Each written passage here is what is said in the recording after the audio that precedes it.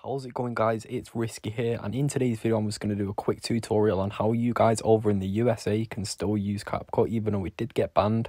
Obviously you guys know it got banned and in today's video I'm going to show you guys how you can download CapCut and still use it even after it got banned. All you guys need to do just before I get into it is smash a like on the video and subscribe because it did take me a while to find this out.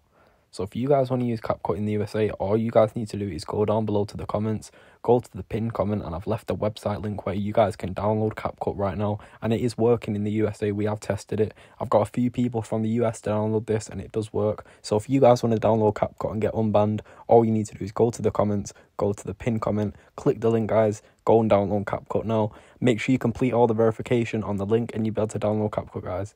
That's literally it. That's all for today's video. Also, if you guys want to know how to get unbanned on TikTok, go to my recent video because I just posted one of them as well. So yeah, everybody like, subscribe, and let me know what you want to see next down below in the comments.